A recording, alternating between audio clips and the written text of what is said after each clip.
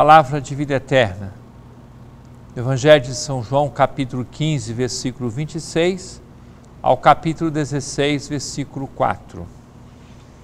Naquele tempo, disse Jesus aos seus discípulos: Quando vier o defensor que eu vos mandarei da parte do Pai, o Espírito da verdade que procede do Pai, ele dará testemunho de mim. E vós também dareis testemunho, porque estáis comigo desde o começo. Eu vos disse estas coisas para que a vossa fé não seja abalada. Expulsar-vos-ão das sinagogas, e virá a hora em que aquele que vos matar julgará estar prestando culto a Deus. Agirão assim, porque não conheceram o Pai nem a mim.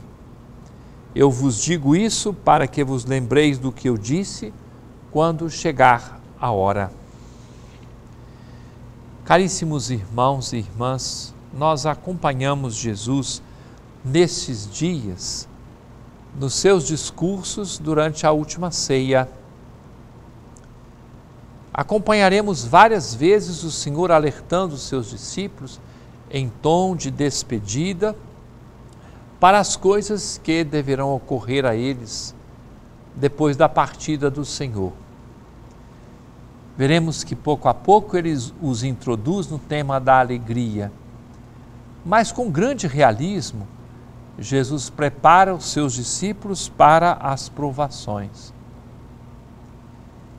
Sabemos que tantas vezes na história da igreja, os cristãos foram incompreendidos e perseguidos. E muitas vezes as pessoas acham que estão servindo a Deus ao não compreender, perseguir, agredir, machucar e até matar os próprios cristãos.